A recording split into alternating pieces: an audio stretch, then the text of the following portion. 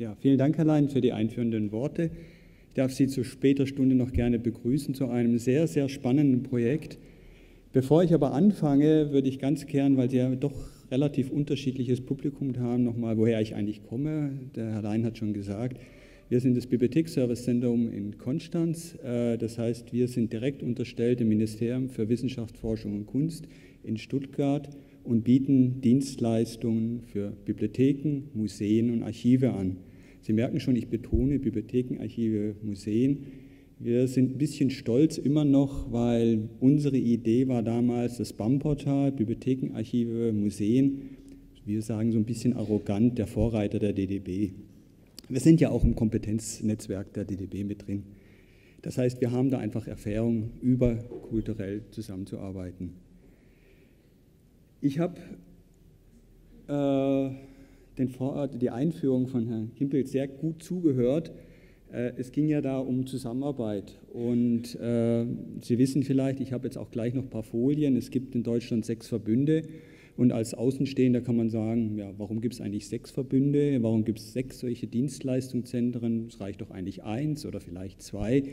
Diese Frage, die gärt schon Jahre äh, und kommt immer wieder an uns zusammen. Und da sind natürlich genau diese Fragen, äh, Zusammenarbeit oder Kooperationen. Dürfen wir, wollen wir, können wir, sollen wir? Also das passt genau die Frage, die uns immer trifft. Ja, und so ist letztendlich dieses K10 Plus auch entstanden. Aber bevor ich da anfange, nochmal eben diese sechs Verbünde. Ja, der gemeinsame Bibliotheksverbund GBV hier so ein bisschen grünlich markiert mit den vielen Ländern Bremen, Hamburg, Mecklenburg-Vorpommern, Niedersachsen, Sachsen, Schleswig-Holstein, Thüringen und die Stiftung Preußischer Kulturbesitz. Das heißt von den Ländern sehr, sehr groß eigentlich. Hier als Besonderheit im Bibliotheksbereich unterstützen auch Bibliothekssysteme, wir sagen da auch Lokalsysteme. Und jetzt die Besonderheit, die ich mal einfach darauf aufmerksam machen, weil das nämlich jetzt mit den Kooperationen, wie geht das eigentlich? Ja, es ist ein Landesbetrieb, damit in Hochkomma selbstständig und dem Ministerium unterstellt. Sehr ähnlich, Bibliothek-Service-Zentrum, wir selber, wir haben drei Länder, wir haben auch Lokalsysteme, etwas mehr, äh, die wir unterstützen. Ja, und wir sind, wie ich vorhin schon gesagt habe, auch eine unmittelbare Behörde, das heißt dem Ministerium unterstellt und damit in Hochkomma selbstständig. Dritter Verbund, ähnlich strukturiert, das Hochschulbibliothekszentrum in Nordrhein-Westfalen hat es Nordrhein-Westfalen natürlich als Heimatland und ein Teil von Rheinland-Pfalz, ist auch wieder eine nicht rechtfähige Anstalt des öffentlichen Rechts, also auch wieder eine Behörde, auch wieder direkt dem Ministerium unterstellt. Das sind jetzt mal drei. Ja, wir haben aber noch den, hier in Frankfurt den Hessischen Bibliotheksinformationsverbund, HEBIS kurz genannt, Region Hessen mit einem kleinen Teil Rheinland-Pfalz, also hauptsächlich Mainz, unterstützt hier mit dezentral mit den Universitätsbibliotheken auch ein Lokalsystem, ist aber jetzt in der Organisationseinheit der Universitätsbibliothek der Universität Frankreich, äh, Frankfurt äh, integriert. Das heißt, ist damit eine Abteilung unselbstständig. Das heißt, muss auch in diesen Komplex reinpassen. Analog haben wir in Berlin den kooperativen Verbund Berlin-Brandenburg, den KBV, auch hier wieder zwei Länder, ist hier aber auch wieder als Abteilung in dem Kontrazusatzentrum für Informationstechnik in Berlin integriert. Hier noch eine Besonderheit, hier gibt es schon eine strategische Partnerschaft zum Bayerischen Verbund mit dem Verbundkatalog, den ich auch als nächstes habe. Der weitere Bibliotheksverbund Bayern, der für Bayern zuständig ist, auch hier wieder Lokalsysteme unterstützt ja, und ist auch wieder eine Abteilung der Bayerischen Staatsbibliothek und ist unselbstständig. Ja, Sie sehen jetzt schon hier, wir haben hier politisch, ja, wie können Kooperationen überhaupt entstehen? Wir haben in Deutschland den Föderalismus. Äh, wie kann sowas ja, passieren? Nochmal ein bisschen Historie. Der Herr Lein hat schon angesprochen, die Bibliotheksverstünde stehen schon lange. Der Ursprung sind einfach die Leihverkehrsregionen damals, wie sie dann entstanden sind und so die damaligen Zettelkataloge aufgebaut worden sind. Das heißt, wir haben hier, wenn man auch mal die Systeme, was mit wir unsere Verbundsysteme, also unsere Kooperationen betreiben, unterschiedliche Systeme. Da hat die DFG damals gesagt, eine Ausschreibung ist es gut, wenn es zwei Systeme sind, wenn es nur eins ist, haben wir ein Monopol, eine Abhängigkeit. Das haben wir derzeit in, in Deutschland, hier so ein bisschen grünlich angehaucht. Der Beamer macht es relativ gut. Das sind alles äh, Systeme, die von der Firma OSLC, damals Pika, also aus Holland damals kamen. Rot sind die Aleph-Systeme von der Firma Exlibris und gelb ist so diese Kooperation mit, dem, äh, Kooperation mit den bayerischen Kollegen mit Aleph. Das heißt, Sie sehen hier diese Kooperation. Ja, und daraus ist dann letztendlich dann ja, wieder Zusammenarbeit. Äh, wo trifft sich was zusammen? Wo können Chefs gut? Wo können Bibliotheksdirektoren gut? Wo gibt es Kooperationen? Also müssen, müssen viele Sachen äh, stimmen. Ja, und äh, in knapp vor zwei Jahren äh, gab es dann endlich die Kooperationsvereinbarung zwischen dem BSZ und dem GBV. Ja, mit dem Ziel, wo ich nachher noch mal ein bisschen konkret drauf einkomme, dem K10 Plus, ein Katalog eben für zehn Bundesländer und für die Stiftung Preußisch Kulturbesitz für die Bibliothek. Zusätzlich haben wir gesagt, äh, wir haben heute schon öfters von äh, E-Ressourcen, E-Books, äh, E-Zeitschriften gehört, hier einfach möglichst schnell auch eine gute Infrastruktur für E-Ressourcen aufzubauen, um den Bibliotheken hier auch wieder Services anzubieten. Diese E-Book-Service, die sind schon live. Das heißt, wir haben hier so ein Vorprojekt gestartet. Das heißt, hier sind wir schon in Produktion, gemeinsam eben unsere beiden Verbünde. Wir haben ein drittes Projekt. Äh, Sie haben vorhin gesehen, dass äh, auch äh, wir im Bereich offen sind, im Bereich verschiedener Systeme. Hier die deutsche Datendrehscheibe für ALMA. ALMA ist ein neues Next Generation Bibliothekssystem. Hier gibt es Kunden in verschiedenen Regionen, hauptsächlich in, unserer Region und in dem Bereich dem GBV, hier als VZG, also der Mitarbeiter der GBV-Region, haben wir hier so auch wieder was gemeinsam aufgebaut. Aber nicht nur in diesem Katalog, wir wollen einfach auch in mehreren anderen Bereichen zusammenarbeiten. Wir haben jetzt ein gemeinsames Workflow-System für die Retro-Digitalisierung und wollen auch weitere Services, die immer konkreter werden im Bereich Discovery, Archivierung und so, in dem Bereich zusammenarbeiten und kooperieren. Ja, um, um sowas zu funktionieren, wir sind zwei unabhängige Anstalten, sagt man ja immer bei uns so, äh, also Behörden. Äh, wie können wir zusammenarbeiten? Was ganz klar ist, Ziel ist nicht, die beiden Organisationen zusammenzulegen. Da hat unser Personalrat natürlich gleich Veto geschreit, geht gar nicht. Äh, wenn man kooperiert, zusammenarbeitet, dann fallen ja gleich wieder Stellen weg und so weiter. Das heißt, hier ganz klares Ziel, es sind zwei unabhängige Institutionen. Wir wollen aber inhaltlich, fachlich sehr, sehr eng zusammenarbeiten.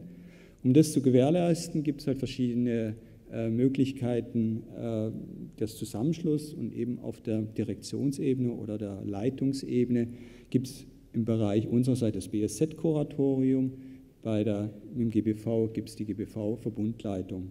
Und aus diesen zwei Gremien plus dem Ministerium, Sie haben ja gesehen, wir sind immer vom Ministerium abhängig, gibt es einen Koordinierungsausschuss, der hier zusammentagt. Der hat schon einmal getagt und wird jetzt im Herbst nochmal tagen. Aber letztendlich ist dieses Gremium eigentlich nur immer so die Drohung. Wenn wir uns nicht einigen, dann geht es an den Koordinierungsausschuss. Äh, und äh, ich kann eine Story erzählen. Wir hatten äh, vom Vierteljahr den ersten Koordinierungsausschuss. Da haben wir uns nicht geeinigt. Einen Tag vorher hatten wir uns geeinigt. Also der Koordinierungsausschuss hatte nur noch nicken dürfen und das war natürlich das Ziel erreicht. Ja, warum haben wir uns zusammengetan? Wir haben eben, wie ich vorhin schon dargestellt habe, zwei ähnliche Systeme. Das heißt gleicher Programmcode, aber vieles, vieles doch anders. Ja, insbesondere auch beim Katalogierungsformat. Ja, wir hatten es vorhin, was kann man alles falsch machen äh, bei äh, Standardisierung, Normdaten? Eigentlich haben wir einen Standardisierungsausschuss, eigentlich ist alles klar dargelegt, aber trotzdem sind die Systeme doch recht weit Unterschied. Die Kollegen haben relativ schnell, wo sie das Format abgeglichen, eigentlich denkt man, es ist gleich. Es war nachher 98 Prozent anders. Äh, Sie sehen auch den Zeit, wir nehmen uns auch Zeit für das Projekt. Wir lassen uns nicht unter Druck setzen, weil wir wollen es gut machen. Aber jetzt wieder zum Thema Zusammenarbeit. Äh, wir haben natürlich auch Kulturen. Die Regionen sind entstanden. Ja, man kann sagen, ja, wir BSZ waren sehr regelwerkstreu. Wir sind sehr engagiert in der Regel. Das ist auch bekannt. Deshalb kann ich das sagen. Es gibt wenig Ausnahmen. Ja, der GBV war da ein bisschen offener, breiter aufgestellt kann man auch oft Sachen sagen. Also die Folien sind abgestimmt. Äh, es ist, ist halt einfach so. Ja, es gibt halt auch unterschiedliche Philosophien, wie man mit Norddaten umgeht. Ja. Und das alles zusammenzubringen, das braucht halt von der Direktion, von den Mitarbeitern, in den Bibliotheken, bei den Bibliotheksdirektoren, überall Zusammenhalt und Zusammenfinden. Und wir sagen schlichtweg, ja, wie immer so offen, ja, so Verbundsysteme, also eine gemeinsame kooperative Katalogisierung. Es ist nicht nur die Katalogisierung, da steckt viel was anderes. Das heißt, ich habe hier nochmal zwei Folien. Wie sieht es eigentlich im GBV aus? Ja, Im Mittelpunkt die Katalogisierung, aber viele, viele Dienste, auf die ich gar nicht eingehen will, sind drumherum. Da sind viele Dienste sehr, sehr ähnlich. Haben, ich habe ja vorhin schon gesagt, wir wollen noch viel mehr Bereichen zusammenarbeiten. Entschuldigung.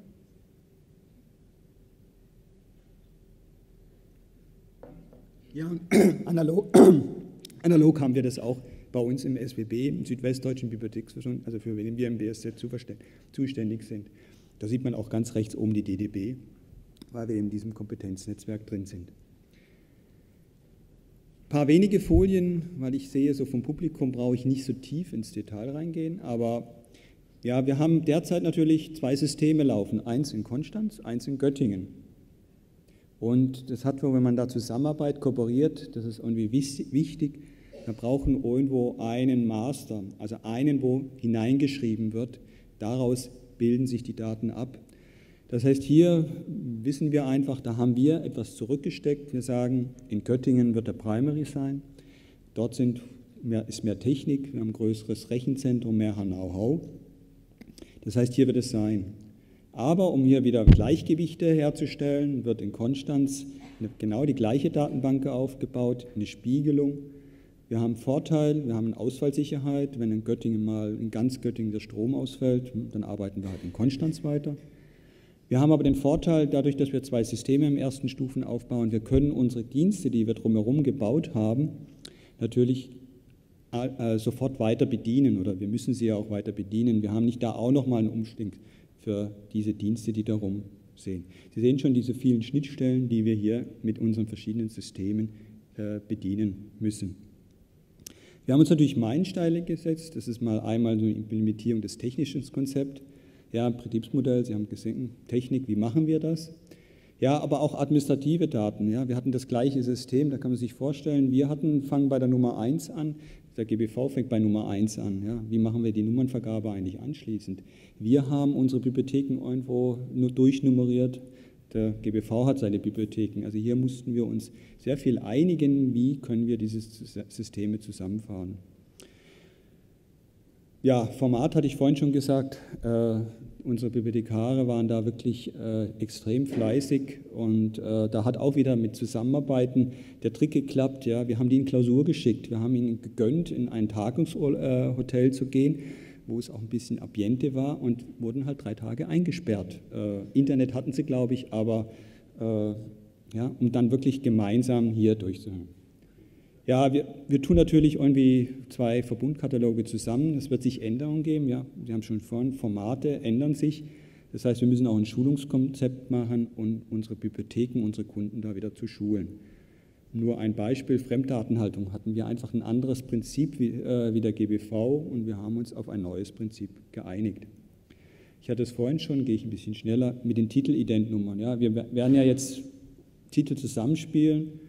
Ja, wir wissen noch nicht genau, wie viel wir Doublett haben. Äh, es ist bekannt, darf man auch wieder erzählen, beim GBV gibt es eh schon so viele Dubletten, das wollen wir eigentlich nicht. Wir wollen also versuchen, die guten Daten, die wir im SWB haben, vorderrangig zu halten, also hier auch wieder verschiedene Konzepte zu gewährleisten. Ja, Format hatte ich vorhin auch schon so ein bisschen in der Einleitung gesagt, für die Bibliothekare hier. Ja, das sind einfach Anpassungen, die auf der GBV-Seite passieren müssen, auf unserer Seite und wir haben irgendwie hier immer Kompromisse gefahren und versuchen natürlich auch ein bisschen Bereinigung zu machen, alte Töpfe abzuschneiden, was natürlich auch nicht ganz einfach ist, weil ja, das war schon immer so, äh, dieses dagegen zu gehen. Ja, wo stehen wir heute? Wir haben eine technische Implementierung, wir haben das erste Testsystem, wo sich auch schon synchronisiert aus Göttingen und Konstanz. Wir haben schon dieses gemeinsame E-Book-Pool, also wo wir E-Ressourcen zusammen verwalten. Ja, und so, starten wir langsam. Die Bibliothekare haben die Titeldaten mehr oder weniger abgeschlossen. Es fehlen noch so ein bisschen die Normdaten. Da haben wir es natürlich leicht, weil wir die DNB haben. Aber eigentlich ist doch wieder ein bisschen was anderes. Ja, und die Indexierung, also wie greifen wir auf die Daten, da haben wir auch total verschiedene Ansätze. Auch hier versuchen wir wieder das Beste aus beiden Systemen rauszubekommen. Ja, auch hier die Einbindung. Ja, wir sind ja nicht alleine. Das heißt, wir haben Arbeitsgruppen in jeweils in unseren Regionen. Die tagen jetzt, äh, nein, die haben gerade äh, vorgestern getagt in Göttingen. Ein Treffen gab es schon in Stuttgart. Also Sie sehen auch immer, äh, wie hier äh, verteilt wird. Da kann ich auch wieder nochmal so, der Mittelpunkt zwischen Konstanz und Göttingen ist derzeit Stuttgart, äh, nicht geografisch, aber bahnlinienmäßig, äh, wo wir uns meistens dann treffen. Ja, wie sieht es weiter zum Schluss? Die Planungen. Wir wollen hier im letzten Quartal dieses Jahres die Formatdefinition, also die Bibliotheke kriegen einfach den Druck fertig zu machen. Wir wollen dieses Testsystem vollständig aufbauen und wollen bis zum Ende des Jahres, kurz vor Weihnachten, mal so eine erste Testdatenbank laden, also mit vollständigen Daten und zu schauen, wie sieht es dann eigentlich aus mit der Depublizierung, was bleibt übrig, was müssen wir machen, um dann im Januar zu evaluieren, wie gut sieht es dann aus und daraus dann eigentlich einen weiteren Plan zu machen, die weiteren Schritte. Wir werden natürlich immer gefordert, ja, macht mal einen Zeitplan, ist immer schwierig. Das heißt, wenn, wenn der ganz gut läuft, dann wollen wir natürlich noch einen zweiten Versuch, das ist immer so machen, also der noch mal etwas besser ist und der dann, wenn der gut ist, die Basis für anschließende Schulung sein. Uns ist bewusst, wir haben sehr, sehr viele Bibliotheken, sehr viele Bibliothekare, das heißt, die müssen geschult werden. Das ist ein Zeitaufwand, äh, die alle zu schulen. Das heißt, da braucht man jetzt Vorlaufzeit, da müssen Schulungsräume reserviert werden und so weiter. Die Multiplikatoren müssen geschult werden. Also hier ist auch nochmal eine Zeitspanne da. Derzeit planen wir im Oktober 2018 den Start von K10 Plus. Aber ich, Sie sehen schon an meinen Ausführungen, wir wollen mal die erste Migration abwarten, viel, ob wir nicht vielleicht doch nochmal einen dritten Versuch brauchen. Warum machen wir das? Äh, klar, wir wollen natürlich Effizienz gewinnen. Beide Institutionen, war vorhin schon, auch die IT ist überlastet von der DNB, wir sind auch überlastet. Wir haben viele, viele neue Themen, dürfen alte nicht abgeben oder runterfahren. Äh, das heißt, hier sind einfach Synergieeffekte. Wir haben ein einheitliches technisches System. Langfristig werden sich natürlich Hardwarekosten und Betriebsbetreuungskosten. Wir haben eine Betriebssicherheit, eine bessere durch die Spiegelung. Ja, und wichtig äh, ist natürlich für uns auch die Betriebssicherheit durch gegenseitige Vertretbarkeit. Man muss ehrlich sagen, wir haben manchmal nur eine Person auf einem wichtigen Thema sitzen. Ja, dann haben wir wenigstens zwei.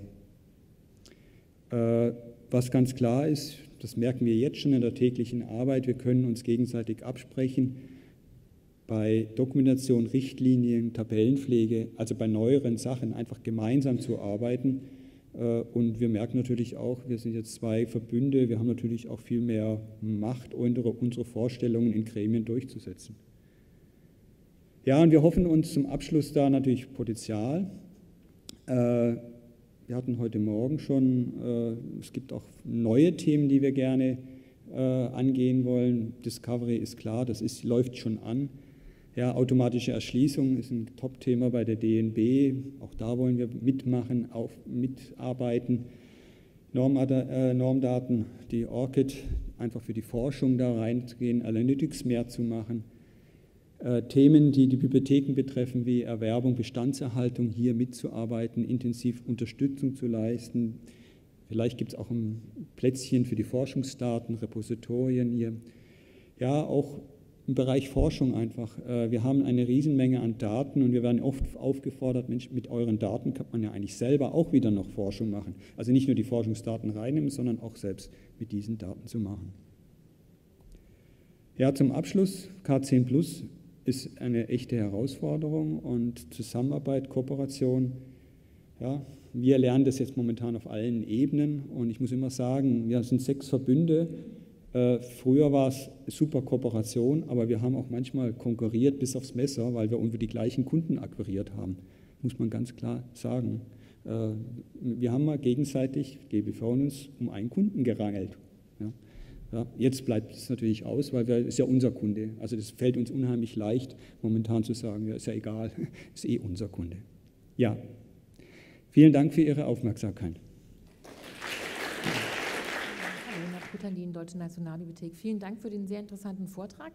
Ähm, was Positives und vielleicht was, was Kritisches. Das Positive zuerst. Ich bin jetzt seit elf Jahren im Bibliothekswesen und das heißt immer, ich werde nie erleben, dass es mal so einen gesamtdeutschen Katalog gibt, wo wir alle rein katalogisieren. Jetzt sind wir ja offensichtlich schon auf dem ersten, äh, den ersten Schritt haben Sie ja offensichtlich schon gemacht mit dem K10 Plus Katalog, finde ich ja ganz, finde ich, finde ich gut. Das Kritische anschließend jetzt, ähm, wenn jetzt alle GBV und alle SWB-Bibliotheken äh, in diesem Katalog dann arbeiten, heißt das dann, dass ganz viele Katalogisierungsstellen wegfallen, weil man dann irgendwie nur noch in einen Katalog katalogisiert und dann ja ähm, ganz viele Ressourcen sparen kann auch? Das ist natürlich eine gefährliche Frage. Äh, was ganz klar ist, für die Bibliotheken wird es natürlich eine Vereinfachung sein. Also bei uns, unsere Statistiken zeigen momentan, also jetzt aus Sicht von Baden-Württemberg, aus SNWW, ungefähr 10 Prozent der Titel wird über Fremddatenübernahme aus dem GBV geholt. Also DNB sowieso, aber aus dem GBV. Und das ist natürlich jetzt viel einfacher, weil das sowieso schon in der Datenbank. Also ich brauche mich nur noch ansiegeln oder kann die Daten verbessern, äh, irgendwelche Inhaltsverzeichnisse anbinden, Rezensionen oder so, also verbessern.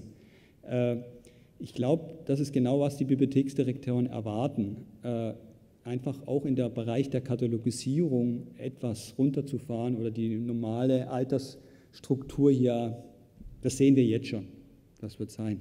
Man muss ganz klar sagen, wir haben eh schon einen Trend äh, in dem Bereich. Wenn wir mal unsere Zahlen sehen, was von Hand katalogisiert wird, nimmt es eh rapide ab im Vergleich zu den E-Book-Einspielungen, E-Ressourcen-Einspielungen.